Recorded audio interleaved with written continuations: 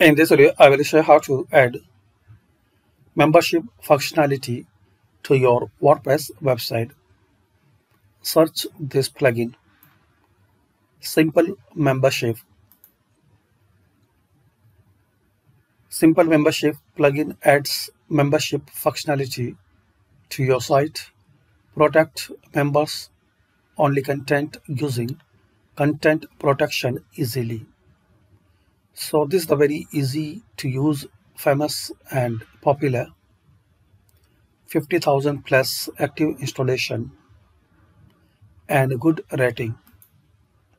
So install and activate and give a try to this plugin. And share guys your experience with this plugin and if you are facing problems so comment I will try to resolve it. Thanks for watching.